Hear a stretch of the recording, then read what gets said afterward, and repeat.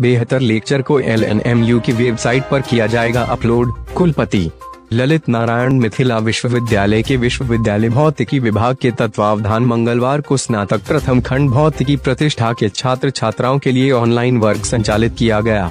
साथ ही स्नातक पाठ्यक्रम के अन्य विषयों की ऑनलाइन पढ़ाई के लिए भी तैयारी की जा रही है।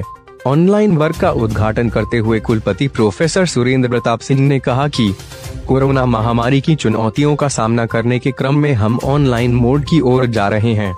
हमें लंबी यात्रा करनी है। लेक्चर बैंक बनाना है।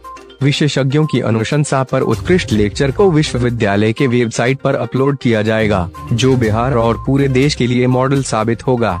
प्रति कुलपति प्रोफेसर डॉली सिन्हा ने कहा कि ऑनलाइन लेक्चर से विद्यार्थी निश्चित रूप से लाभान्वित होंगे। इसके साथ ही कॉलेजों में भी ऑनलाइन क्लास जारी रहेंगे। कहा, शिक्षकों को संस्थाओं के प्रति लगाव और शिक्षण के प्रति समर्पण बनाए रखना चाहिए।